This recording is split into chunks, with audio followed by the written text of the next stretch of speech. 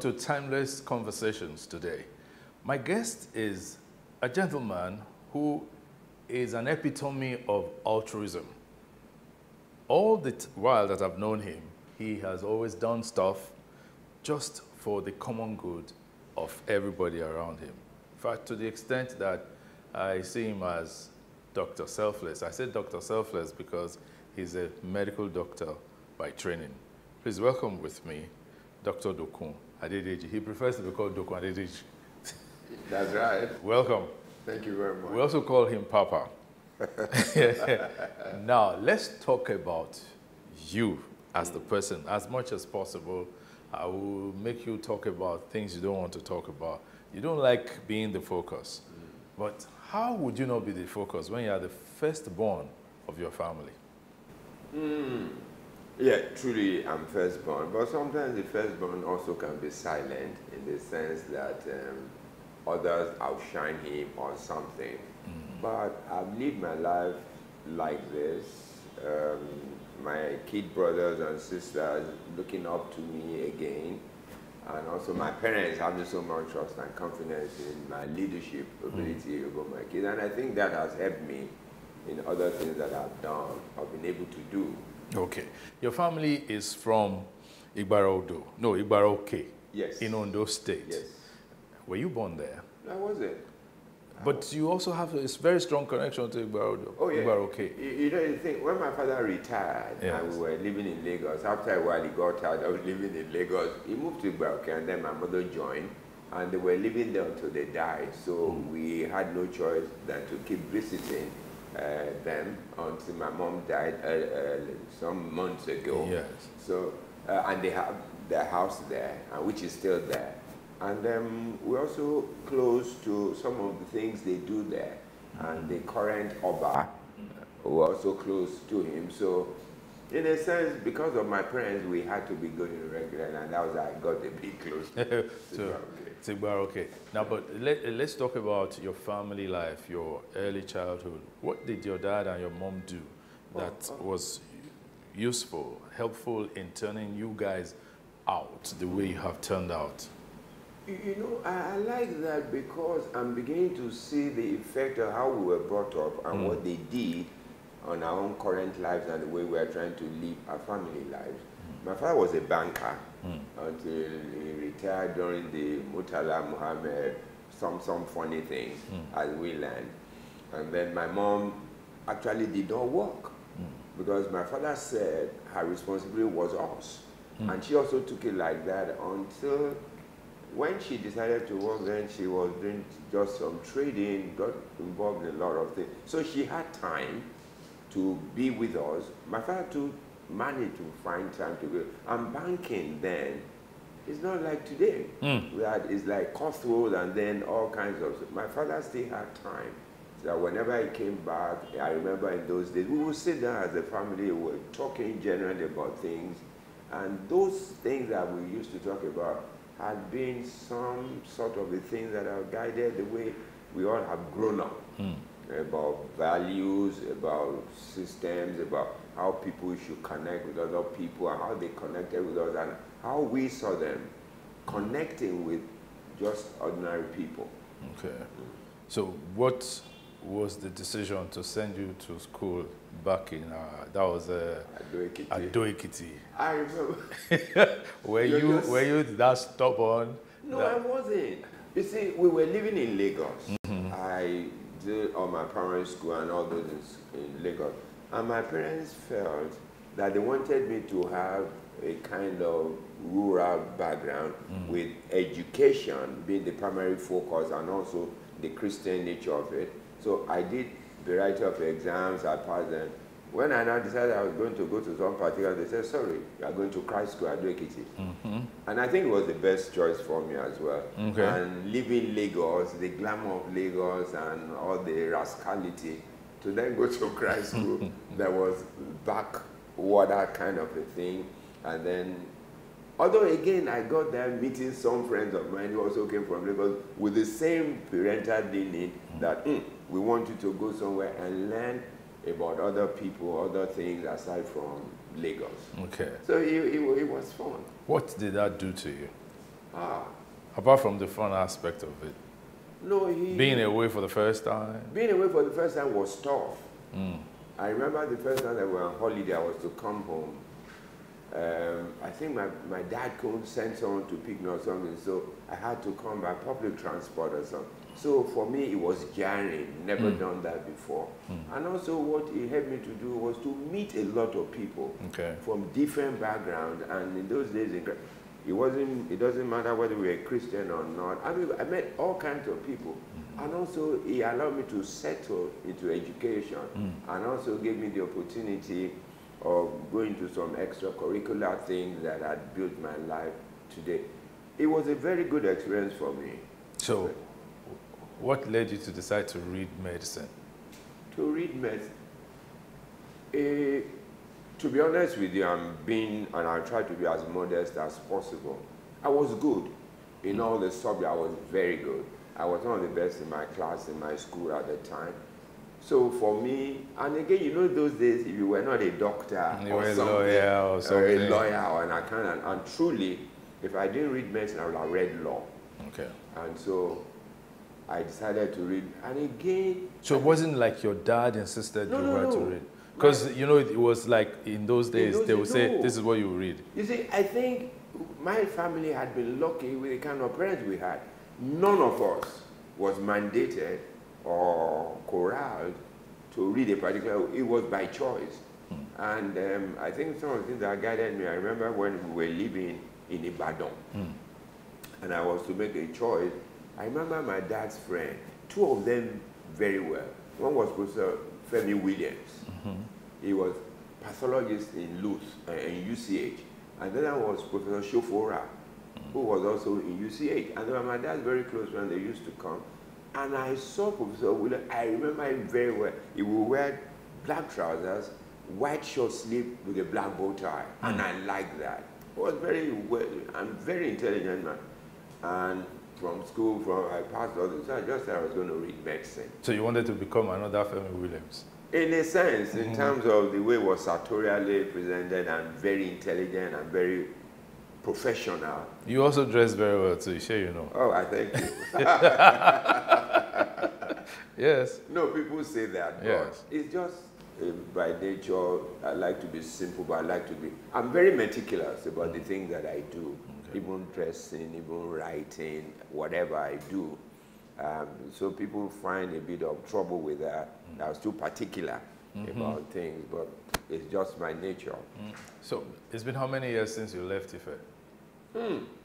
I mean, yes, since you went into Medicine. medicine, yes. I, I I left medical school, I think must have been about 38 years now. yeah, that's Right. almost 40 years. Oh, yes. Yes. And I practiced medicine for quite a while until I got tired, and whilst I was in Cadbury. Mm. So, and incidentally, you know, things sometimes work in ways that you don't understand but that you desire. Mhm. Uh, after being in medical practice in, uh, uh, as a medical director in Cadbury, then I was getting tired of medicine. I said to myself, I would rather do something else. So in the process, Cadbury then had an issue. And then the MD, then a white man, thank God for white men, I, I mean for this reason, he called me and said, uh, we talked about something in the company because of the issue, all the directors had gone, and they want me to move to human resources, to head human resources. I said to him, hey, I'm a doctor. So he said, no, we know. But we know that you can do it. We will give you all the practical background that you need, experience, and then we put you. So he said, okay, they'll come in, let me have an interview with the other directors who are white too. I keep mentioning the white thing because I'm not sure if the MD was black or Nigerian, whether they'll give me that opportunity. That's a deep one. Honestly. We will interrogate it. Oh, please, let's do. Uh, you know why I'm saying so? Yes. This was a man, they brought him because he had retired, they brought him from the UK, Okay. uh, Wallace Galland. I remember his name very well. Cadbury had had problems, some white people had come on the board. Alistair, Alistair was there, Mike was there, and I think, and also Wallace. So he walked to my office, actually in the clinic. Hmm. He had been looking for me, I wasn't there. So then he then came, he shut the door and said, Doku, I want us to have a chat. I said, what is it? He said, we've been thinking about something I've discussed with them in headquarters in Birmingham. We want you to become the head of HR. I said, look, I'm a medical doctor by profession.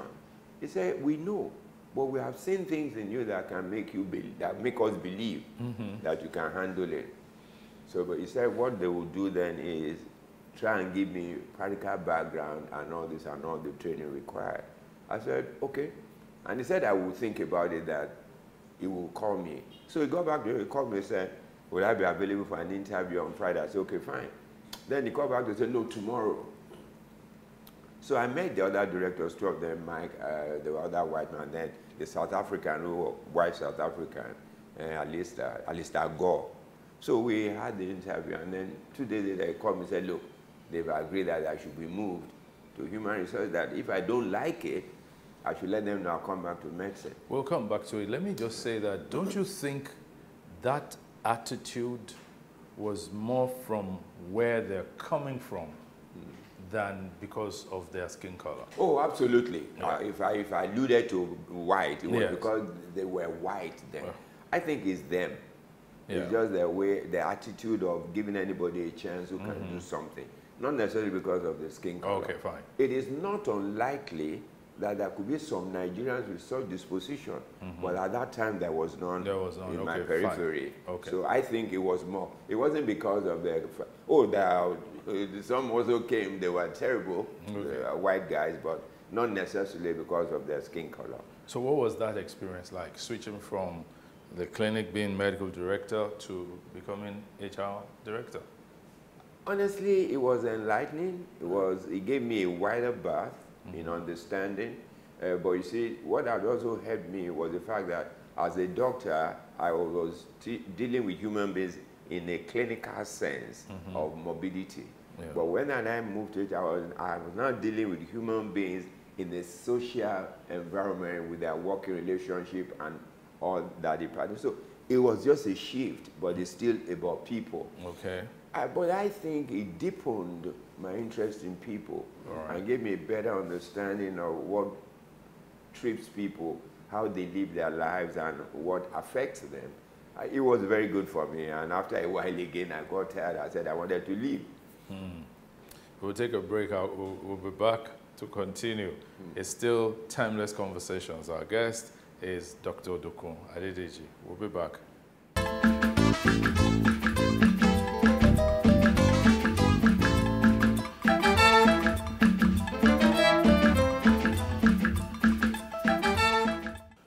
Welcome back to Timeless Conversations with Dokun Adedeji as our guest today. So you were saying you got tired and you thought, let me go. You, you, you see, it's an interesting thing about what had happened to me. When I was in the clinic, oh, I, I had the liberty to do meds, to practice medicine the way I always loved to practice. I had everything. The company gave me the latitude to have the things that are required to practice. And so it was a different experience for me from working in the private sector. And so when I was, after a while, I just saw, I come here, I treat people, I do this, I can't wake up the dead. Mm. So I said to myself, I'd like to have a different experience. You know, and the thing that helped me, as the clinic was under the HR department, mm. so I was attending top managers meeting and all those. So I was making contributions to our discussions, and I said that, look, this is something that I didn't think I was going to go to HR until that opportunity came. Mm. So when it came, you know, whilst I was even in the clinic, I was involved in some NGOs mm -hmm. where I put so much time and interest even whilst working. Um, and so I began to say to myself, and I came with the experience of what Bill Gates said. Mm. Bill Gates said when he called his colleagues and said, look, when he, became, he becomes 50, he was going to retire. And he began to do other things that gave him satisfaction and opportunities to do other things. So I said to myself, I've worked in the clinic, I've been HR, I've done my bit. I would like to spend the rest of my life doing things for other people and doing things that I enjoy, not necessarily for money, mm. but for satisfaction. And so after a while, I told the company that I would like to leave. So they said, well, I said, I just was tired. There was no way I would become the MD of the company. I mean, going by what I can see because I'm limited in that scope. Mm. And I'd rather now when I can still do stuff, go and do things. And I they said, okay, fine. So I left. And since I left, I've been involved in the NGOs that I mentioned that are now I should pretend over it. Mm. And it gives me absolute satisfaction. Mm. And um, the peace it brings to me, I can't quantify it. So I, I thought I made the right uh, decision. So it's like you turned the page. Oh, yes. In your life's story. Oh, yes. And decided I'm going to be more into NGO, uh, social service, as mm -hmm. it mm-hmm. were. Mm -hmm. Now, the NGO is the Christ Against uh, Drug, Drug, Abuse Ministry. Abuse Ministry. That's CADAM. CADAM. Um, what informed its formation? you know, sometimes I remember when I won an award and the chairman of the company, because I won the chairman's award in Cadbury, which was mm. a, an international award, Cadbury staff worldwide. So the chairman asked me, he said, Doko, what gave you this desire to do this thing that I said, honestly, I don't know. I just think it's my nature. It's not the same thing. What happened was I never smoked before, never drank before. One day in church, the pastor just said, look, we're starting a new ministry called Drug Addict Rehabilitation Ministry to cater to the people that have been on drugs, maybe in the hospital at home. They didn't have any intention of turning to anything else, so I joined. So once I was there, it then began, not because of my medical background, but it was just my nature. So when we were there, I began to suggest to people that, look, going to the joints and meeting this addict just talking to them was not, they even said to us that, look, we want you to take us out of this mm. and then put us in a place where we can get rehabilitated. That was what began the journey. Mm. So I then got very involved in it. We then built our center, began to admit people, and we went to see people turn around. There are quite a number of them, that are still a lot of them that are drug-free, living productive lives. So that was our, my interest. And what year was this? Um, the ministry actually yes. was founded by Pastor Deyemi. I okay. think he founded the ministry in 1991.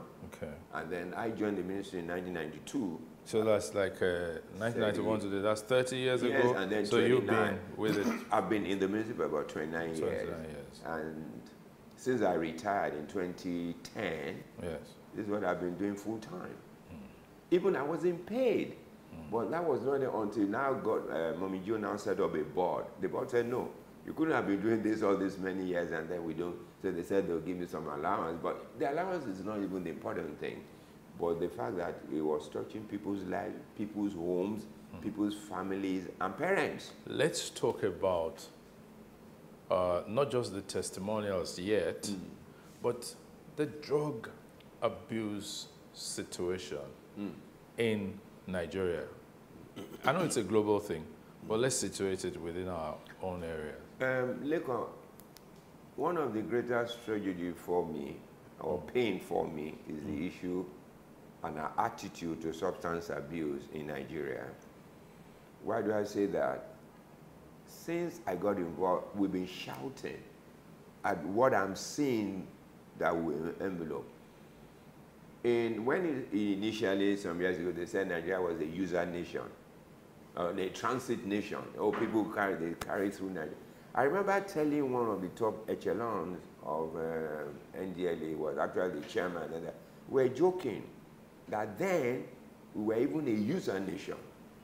Because they didn't believe until 2013 when NDLEA finally agreed that we're a user nation. Then I cautioned again a year thereafter that we're not just a user, we're manufacturing. Everybody said, no, no, it can't be. Where am I going to? In 2017, a survey was done by the UNODC the report came out in 2018. The global prevalence, the global average prevalence use of substance abuse globally was 5.6%. Mm. In Nigeria at that time was 14.4%, mm. translating to over 14 million Nigerians between ages 15 and 64 that had used drug the previous year. And let me say this, that survey probably did not take into cognizance people who do it in the office people who do it socially, people, these were people they thought that were doing drugs on regular basis. Mm. This year, the country representative of UNODC said that figure is close to 20 million. And you know, the thing that people also need to know is this. Out of every four substance use abuse disorders, one is a female. Mm. In Nigeria, the preponderance of use in Nigeria in the population is age 25 to 39, which is the economic productive years of any nation. Yeah. In Nigeria today, over almost 12 million people use cannabis, Marijuana? marijuana. And I can tell you, There is no area of this country that does not have a drug joint. Freeze. Freeze. Hmm. Marijuana. they say that the marijuana grown in certain parts of Nigeria, hmm. right, is the best in the world. Hmm. When you say is the best in the world, is there any economic opportunities derivable from that? Because I recall that even Governor Akeredolu is calling for the legalization of marijuana production. You know why I'm laughing? Incidentally, Yeah. Governor Akeredolu and I were classmates Okay. at Ayetoro. Yes. We're very good friends. He knows this is what I do. I disagree with him completely. Hmm. You see, anybody who talks about legalization of marijuana are blinded to some facts. Hmm. We know, as a matter of fact, that the marijuana grown in Nigeria, the component THC component that is the terrible one that affects the mental and disturbs people, is very high. You see, the marijuana grown abroad for the legal uses are modified. So they're modified to the extent that the THC component is not as heavy as it is here. To say that the best in Nigeria is a fallacy. Nigeria is the fifth highest user producer of marijuana in the world. Now, the thing about this is we are not in a state yet, and I don't know when we can get there, when we can sort of decide that this is what we use marijuana for. So legalizing it, it will be a tragedy. It will take us down slope. And I'm glad that General Marwa has spoken against it, as many of us are against it. We need to be very careful. Yes, economic benefits are there, because we know that uh, within marijuana, there are over a hundred and something substances or compounds in it. And many, some of them are used in the manufacturing, they're used in building, they're used in hair industry Hair, hair production. beauties and all those things. They're also used in medicine. But one thing that people forget, even the medi- medical marijuana is not an answer to many of the conditions we use them for. In infantile epilepsy, for instance, which sometimes is you, it is not everyone that has infantile epilepsy that benefits from mm. marijuana. And we have also known that regular drugs that are used for those conditions are far more efficacious than even marijuana. Mm. Trying to legalize it and under the guise of the legal use is just to make it into something that becomes acceptable if we're not careful. Hmm. Marijuana will join the class, we join the class of socially acceptable substances like alcohol and cigarette. And it's becoming like that in Nigeria surreptitiously. Yes. Because a lot of people use marijuana. And you know one thing that I'd like to say is this. There are very va- varieties of marijuana, various kinds that people are now using in Nigeria. They call it loud. They call it Arizona. They call it Colorado. They are not marijuana at all. What about the one they call skunk? Skunk is different. Okay. Uh, uh, skunk is, let me take that and then I'll go back. Yeah. Skunk is a combination of marijuana, dry leaves of pawpaw, and then cocaine. Mm. That is why when people begin to use skunk, they begin to have a tendency towards addiction because of the cocaine element. Okay. And then they all, you see, and it's more expensive. They give a reason to say, oh, because it's higher in potentiality, and that's why people use it, and it's, it's more expensive than ordinary marijuana. Mm. Maybe ordinary marijuana, five rounds may cost about 100 naira or thereabout. But skunk, a pinch of skunk may cost you 2,000 mm. or thereabout. But if I go back to Colorado Yeah. And Arizona, Yeah. we know that in those substances, which is not marijuana in itself, the marijuana component of them is about 10 to 11 percent. Hmm. The rest is made of chemicals Oh, no. and herbs. And that is why when you see people use it, they can go berserk. They will begin to. It is the element, it is not the marijuana anymore because it's very low. It is the chemical component. They are synthetic marijuanas. And that is what is common to them. And why people use them is because the smell does not have the peculiar smell of marijuana. So if you use it at home, parents may not know. But what brings it out is the effects and consequences. And those are things, I, I, we, we need to do something about the substance. You know, you said that um, marijuana, unfortunately, was becoming, or sadly, was becoming uh, surreptitiously a socially acceptable Mm. drug. I recall that growing up, joints where they sold or smoked marijuana were not very much welcome within residential areas, yeah. right? But these days, Mm. sadly, Mm.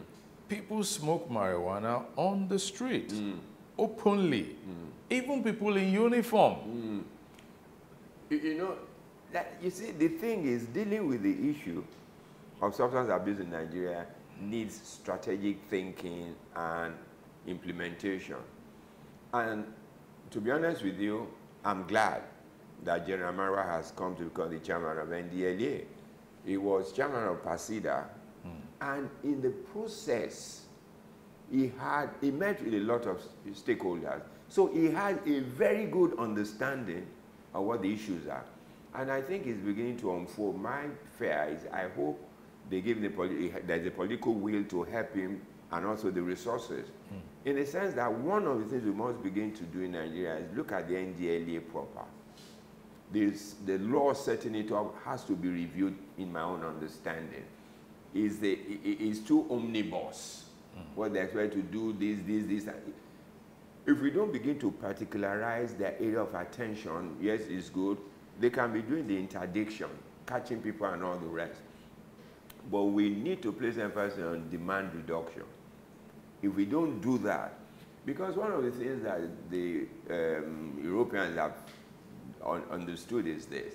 They give us a lot of gadgets to catch people at the airport. You can't carry the drug. So what happens to the drug that doesn't go out? They get domesticated. And if they get domesticated it allows accessibility and availability on different scales. So people can get it they can use it. So the thing we must begin to look at now is how do we look at this thing as you said I doubt if you walk down this whether you won't find where you can buy it. Mm-hmm. And it's not limited to motor. You see, the, the, the wrong impression we've always had. We thought people who do drugs are motor park boys, rascals. is not true. Hmm. Big people, I mean, some experiences we are seeing lately have hmm. shown us that big people do. If you want to see some of these things in some areas of like secluded areas of Lagos, highbrow areas, is to watch during break time. Mm-hmm. When you see, what do they call, Yup- yuppies, mm-hmm. leave their offices in suit and everything, you see them drive to a house. They're not going there to have, just sit down. There's something that's going to happen there. Many of the parties today that are highbrow are drug, are drug fed.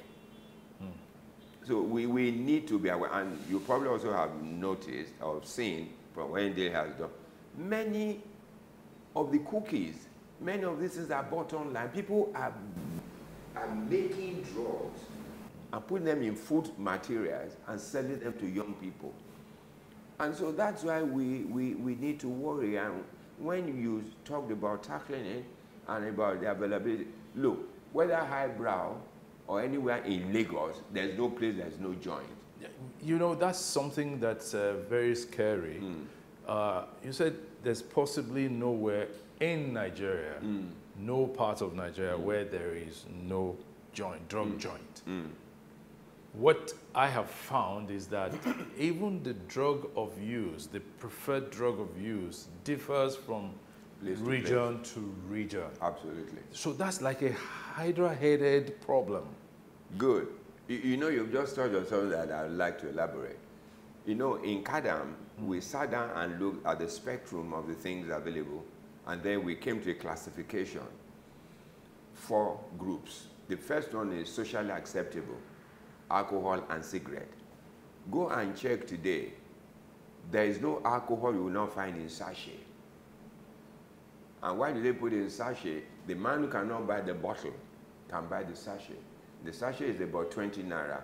So when you go to the joint, you see them buy like two of them, using release the amount, put it out, and then begin to use the drug of that day. And then so it allows students to buy it. And then let's go to the next way, which is the illicit, mm. illicit classification, which everybody knows. Heroin, cocaine, marijuana, skunk, and all, and all of them. And all of them. Illegal, illicit because they're illegal. You can't carry them on your person and then take them, you'll be caught. And then the, second, the third one is prescription drugs. Mm. Something like tramadol, mm. something like Rohypnol, something like Valium, something like injection pentazocine. These are drugs that are prescribed in hospitals for moderate to severe cases of pain. One of the things we're beginning to find that is scary, and I'm talking very responsibly because they have been called to come and intervene. The, there's a particular drug called injection pentazocine, which is you can get on the counter. They call it Fortwin.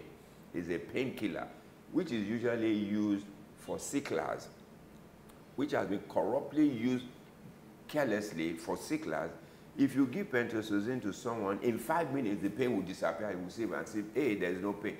So it's become common because you can get it everywhere. Doctors, nurses are also beginning to abuse it. Mm. And also things like pethidine, drugs you can get in the hospital.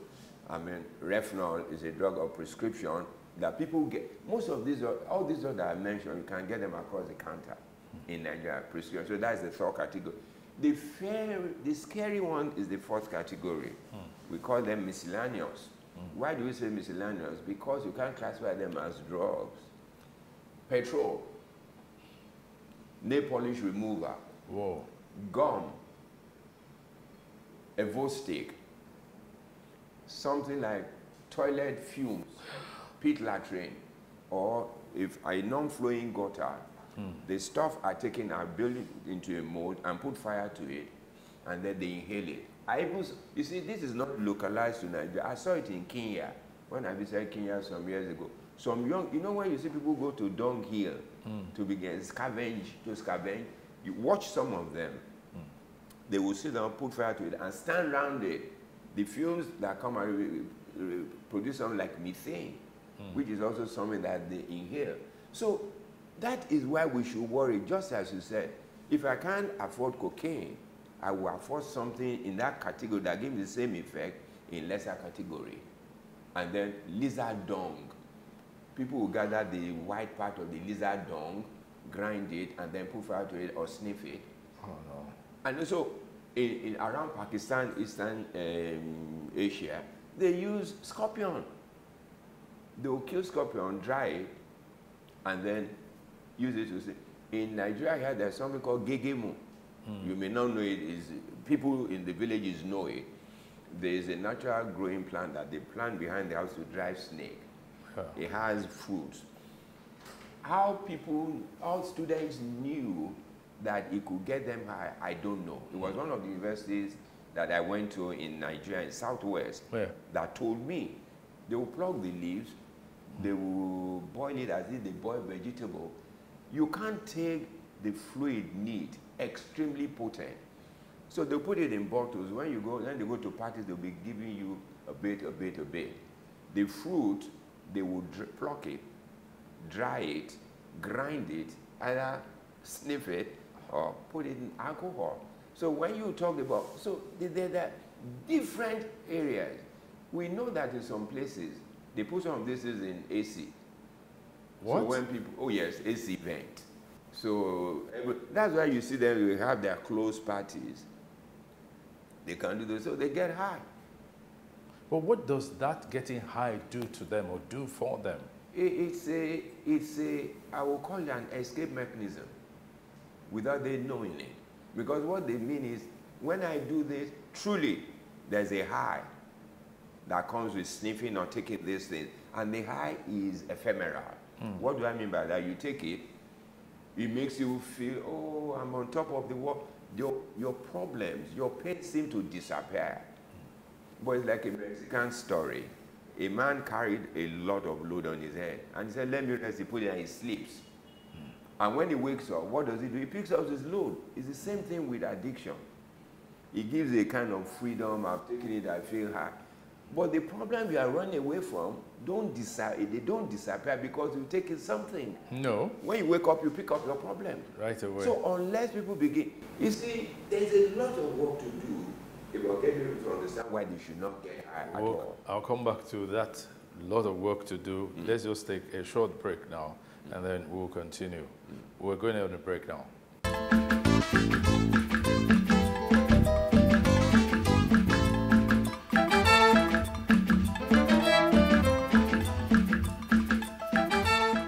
Welcome back from that break.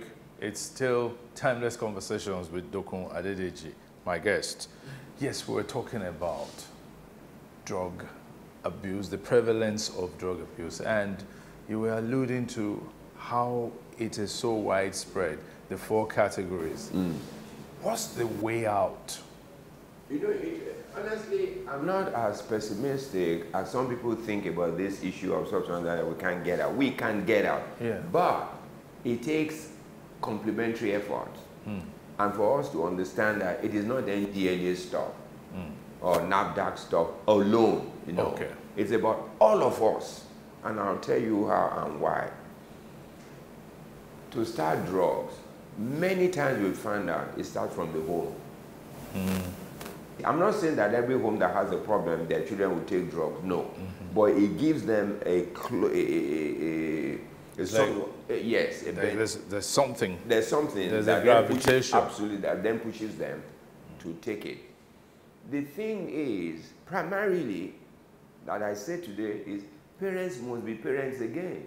Hmm. You and I grew up in a society that it takes a village to train a child. Yeah. Your neighbor can first of all push you by the ears and bring you to your parents No, flog you mean? and flog you, Yes. and then still bring you to your parents and parents And will flog you flog you. Yes. It doesn't happen today. Yeah. Parents go to schools to mm. beat up teachers. Mm. What are you telling the child? He can get away with blue murder. Mm-hmm. Many parents don't know their children. Yeah. They because they are in economic pursuit of happiness, mm. in quotes. Everybody wants to work. Everyone to be like the Joneses. You see, there's something that I tell people. You know, in psychology, there are three psychological components of the human person: the id, the ego. This. Many of us, no matter the level we get to, still suffer from deficit in ego, and the ego is who am I? Many of us don't know who we are. We have not sat down to say, Who am I? What is my purpose on earth? I didn't just get born because I want to be a part of a number. There has to be something for me particular or specific that I need to do to excel in that makes me feel confident about who I am. Hmm. That is why you see people want to be like somebody else. Yes. You know, Wole Soyinka says something, he said, a tiger does not need to proclaim his tigritude. At all. A tiger is a tiger. Yeah. And you know, people forget that no matter your, your, your disposition, you are also prone to success. There are very good barbers, mm-hmm. very good tailors, mm. very good different things, but the society has shifted focus. Mm. And generally, we all have lost focus, even the church. Mm. What does the church talk about today? Money Prosperity. prosperity. How can you prosper when you have not labored? Mm-hmm. And then you, you, the kind of teaching that the Bible says is not the application of what the pastor say today. Oh no, you actually see, you hear church members say that, oh, that brother is driving a Mercedes Benz. I- I claim claim it. Claim what? Claim what? Why, did you, you- claim the problems that came with it? With too? it. And do you know how he got his Benz? Yes. You know, until we train our children, as I said to you, my father used to sit with us and talk. My father never talked about money. Mm. Money is good, but he talked about values. Mm-hmm. And you see, I think Yoruba say when you are on the road, you are pursuing money or something, and you meet honor on the road. Yes, now. So That- you that- better take the You honor. better take the honor because money will come with the honor. Yeah. But you see, we are pursuing money at the detriment of honor and value. What is wrong with our society today? look at it. We blame the young people for this. It's not true. Mm. What do they see? What examples? Who are the role models for young people today? Absent. Hmm. The people they see are the hooligans that the media will promote, mm-hmm. put them on pages and flash them up. Yeah. Do they talk about people like Dr. Kolade? Yeah. Did they talk about the lady who found money at the airport and returned I it? returned it, yeah. Or the, there was a boy I, I read lately in Uniben hmm. who did something and the, the, the dean had to recognize it. The guy couldn't pay his school fees. He found money. He returned it that would have paid the school fees. Do we talk about them? Mm-hmm. Does social media carry those kind of stories? Yeah. No. Hmm. We carry the story of somebody who just, all these Yahoo boys. Yes.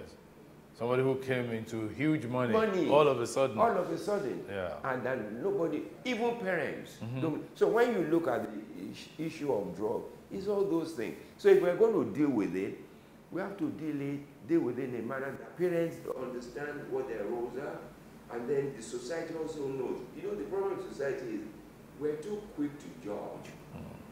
We never give second chances to people. People that you read about, biographies and everything. If the world didn't give them second chance, look at Obama. Yes. If you read the story, you will know this is a classical story of somebody who would have missed it. Mm-hmm. Look at who he became. Yeah. We don't talk to today about those things. I just read a book lately called Beautiful Things Mm. on drugs, written by Joe Biden's son, Hunter Yes. Biden. Yeah. If you, if any parent read that book, they should have a different paradigm shift as to how to deal with their children. In all the issues and all the years of addiction, Joe Biden and his wife Jill never derided this boy, never denounced him and threw him out of the house. They just said, "We will stand with you," and he wrote it in the book. Those were some of the elements that kept him. So, so the society must begin to understand these vices grew out of our own situation. We all together must work together to help these people. I know that there's a huge prevalence of drug uh, use amongst the very young uh, generation, especially university students. What's the relationship between CADAM and the universities, Um, both private and uh, most private. Usually, our relationship is, is stronger with private universities and particularly the Christian universities. Okay. One started with us and saw the result, and the others learned from them. And we also now wrote in order to help the students because many universities, out of ignorance, were expelling students. The final year. And we say to them that is counterproductive, which is one of the things that General Marwa is now talking about. The first attempt in helping should not be punitive. We should not punish users because they are victims. So that is double jeopardy. So we wrote to the universities and said, look, we will be willing to help you. Come and visit us and see what we do. Let them come when you catch them. We will help them with rehabilitation. We will certify them. They'll go back to school. Then, if you watch them, many of them have graduated. So which- From university. Oh, from university. That's oh, yes, I know quite many are doctors and nurses and even pilots today that graduated from us. So that gave that gave them and they why don't we try? This is not to say that every one of them they sent to us do that. Hmm. Two, three still fail and then they expel them because they have tried enough. But they have seen a measure of success. So you're saying the first step hmm. is not It's not rustication, it's not punishment. Even if you are going to punish, let it be a lesser level. Let's say we suspend you for a semester, go to so so so place or wherever you choose, go and get rehabilitated, bring a certification that you have stopped. We will take you back to school. We will because what the you know schools today check at random.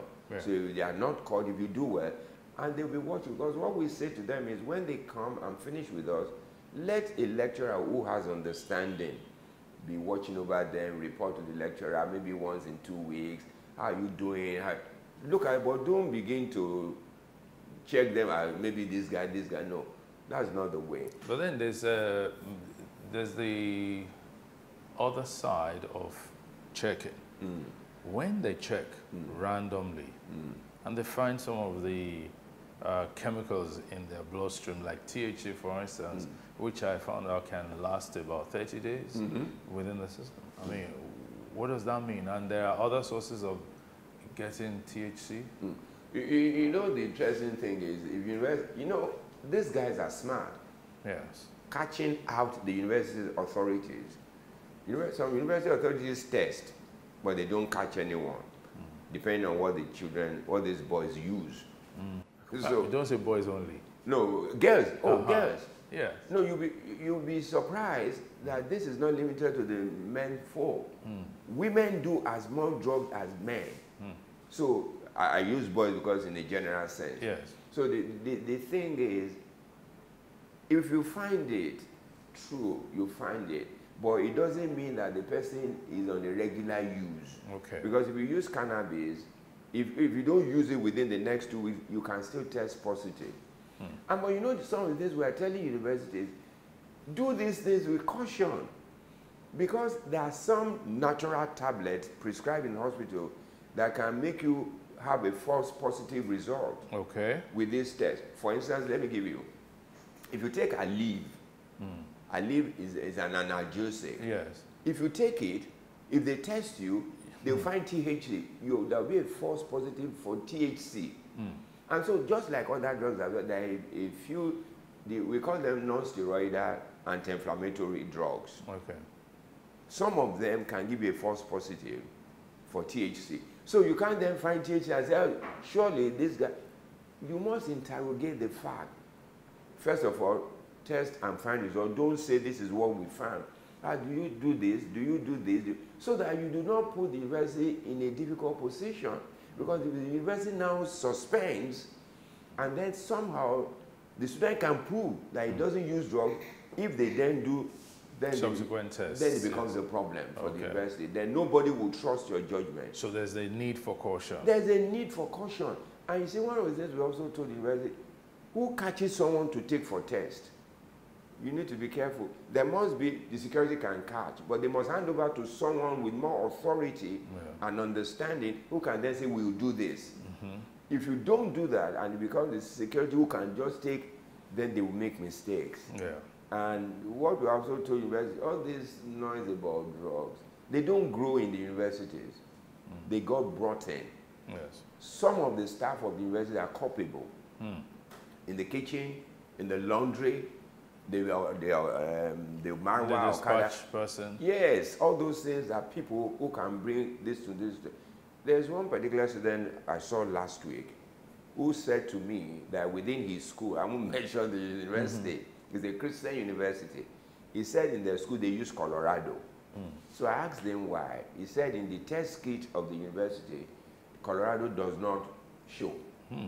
It's not detected. So they use it on a grand scale to get it within the campus from people who sell it as students starts from 2000 2000 2500 to 3000 so he now has a friend who is in a public institution who brings it who gets it from outside for about 500 naira. So he brings it to him but that guy was coming one day to supply it both of them got caught.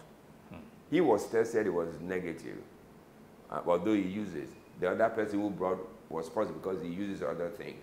So he, he was suspended or expelled. So we said to him, we will rehabilitate him and do a letter to your university that this is this, and then give you a second chance. But public institutions don't really care.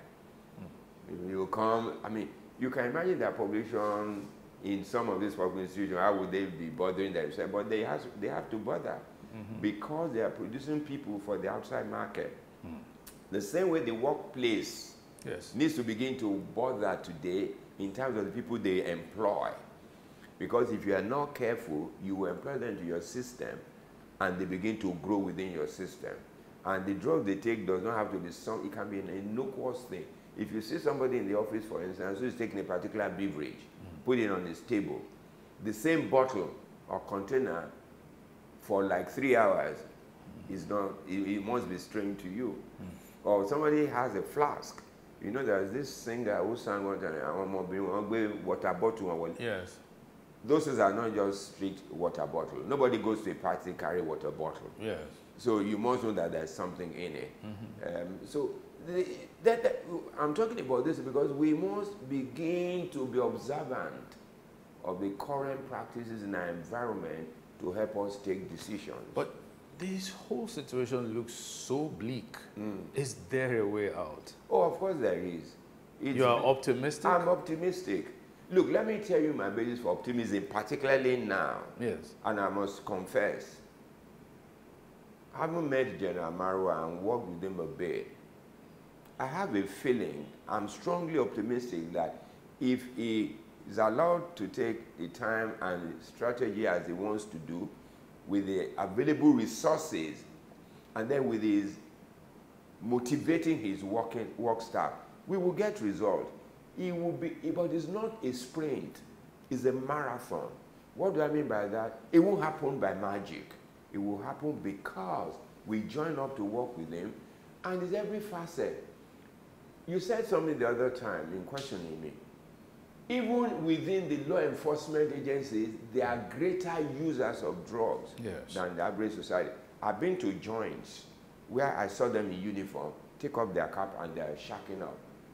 And that's why we have those accidents at the, uh, at the checkpoints and all those things. The custom must be involved in the of interdiction.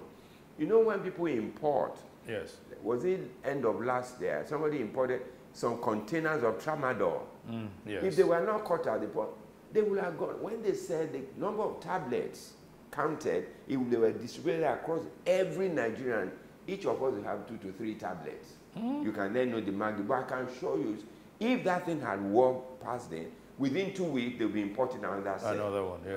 So each so each component of society, you know, I mentioned parents, I mentioned mm-hmm. schools, Yeah. I mentioned the workplace, Yeah.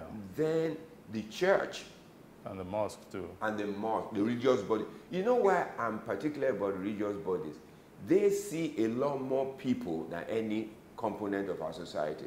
Yeah. So if the pastors know about drugs, they talk about not in a judgmental sense. Oh, if you take drugs, you go to hell. You are making the boys continue to take. Hmm. Something has I have to something has to take me to somewhere. Yes. Don't use that. We must use love and empathy and drive it home. And when they come to talk to us, it must be confidentially maintained. Mm-hmm. They might even say, Don't tell my parents. Then don't call their parents because their parents give you shoes when they travel. You call them or money. Then you destroy. And the others will never tell you stop. Hmm. It cuts across. The confidentiality must cut across every facet of the society the church, the workplace, the schools, and everything. Now, to ask you a final question, how is CADAM funded? Ah, I thank you for asking me. Ah, it is one of the most difficult aspects of our operation. And I must say this, if not for Mommy G.O., we would be struggling like anything. She visited us and saw our center in the rudimentary state when we were, she said, and this is a rehab center. No wonder when I tell people to come, they don't want to come. They say Bujero, and that is like a, like a, like, like a ship pen. Yes, so like, I said, Mommy, but what will we do? We've talked to everyone that we can talk to, no help. She then left, then called me. That was how she began to release money to us until we built a good center. Yeah. She then spoke I to. should come there. I haven't been there in a while. Oh, you should come. Yeah. And one of the things I even want to do, interest big Nigerians. Let them come and visit. Yeah. Then they can take a decision how they can help us. Yeah. Not necessarily if they want to give money, they can build certain centers. Yes. They can give us equipment. They can give us vehicles. The things that we need. They don't have to give us money, so they don't say some people want to chop their money. But it's a place for people to visit. Even when people want to have ceremonies like a poker birthday, they can say every phone from it I give to this center mm-hmm. or come and uh, help us. But finance, finance is a major issue. Mm. The church gives us money, which today is like what we use to pay salaries to buy food because the program is free. Yes. The program in Ekpe is free. We don't charge a dime for it, and they mm. spend a year. Mm. We house them, we clothe them, we treat them, we do all those. So we feed them. So we need help. Um, if we get help, we'll be we'll, we'll be on top of it. We will do much more. Hmm. Hmm. So, Call for help. Call for help. Talk to the people. Ah, I wish today, if anybody watches this, you go to our website, www.cadamonline.org. No, hmm. sorry, dot, www.cadam.org.ng. That's our website. Yeah. And then our phone number is there 0817103, I think 9895. Our phone our office is in Ikeja, Agidingbi, 5 Yusuf Close, off Sadiku Street, off Amaro, behind Zenith Bank. Mm-hmm. Come and visit with us. If you come, you talk to us, we'll take you to visit. You will see these people in flesh. You see the, the, the faces of addiction. And then you can see there is hope. That's why I'm happy. And I'm pleased to say to you that it's not all bleak. It looks bleak today, but there's light at the end of the tunnel. Thank you very much, Doc. Thank you. Papa. Thank you so much. My guest today on Timeless Conversations has been Dr. Dokun Adedeji, an altruistic person, totally selfless. It's a, been a pleasure having you. Thank you so much. Thank you And we'll much. follow up on what CADAM is doing. We'll come there. We'll be glad. We'll we'll come be there. glad. We'll come there. Maybe we can do a special one. I think you on should. site. I think you should, On and site. maybe also get Yes. somebody like General Marwa to talk to. And Yes. Yeah, we'll reach out to him. We'll Right. reach out to him. Thank you very much for watching. See you some other time. Bye.